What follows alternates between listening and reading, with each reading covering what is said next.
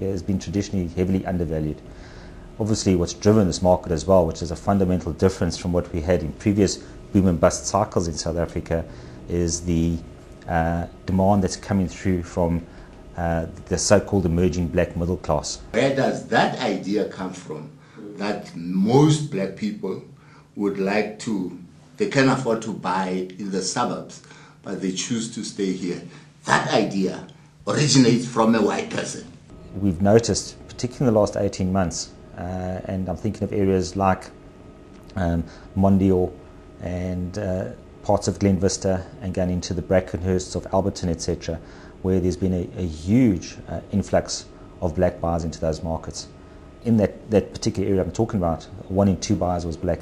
The older generation, we've still got that in the back, uh, you know, back of our heads. We don't move often. But the young, upwardly mobile, black, Oh, there's no difference. He moves. Yeah, same as white. There's no difference between him and the white. He'll buy this year, two years down the line, his situation changes financially to for the better. He, move, he moves up. The concept of trading the property and realizing the equity, the value that's been locked up in there, that is, that is happening, and uh, people are uh, selling their properties and either using that equity to buy in a better area within the township but more and more looking to move out into the, the suburban, the traditional suburban areas. And for exactly the same reasons that anybody else would. It's proximity to transport, uh, to workplace, uh, to amenities, school facilities, those sorts of things. There are so many buyers out there, and uh, there just isn't enough existing stock. Not only in the townships, but in the traditional suburbs as well. The black buyer is only too happy if he can be buying property in the, in the uh, uh, suburbs being serviced by a black agent.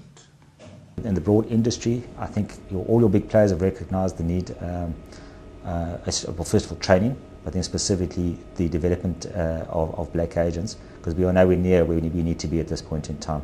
There's been a huge growth in the last uh, three and a half, four years for people saying, well, rather than go through the hassle of moving, let's upgrade the bathrooms, let's redo the kitchen, let's put in that pool, put the wall around. So the, the alterations, the, uh, uh, and all the artisans associated with that renovation market, uh, absolute boom times as well. It's been huge money spent there.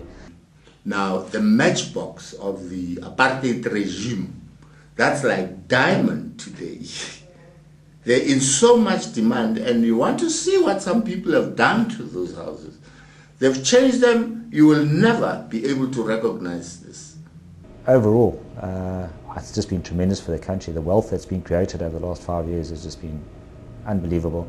And I think the most satisfying part of it is to see that it's actually becoming more broad based and spread amongst uh, the population as a whole.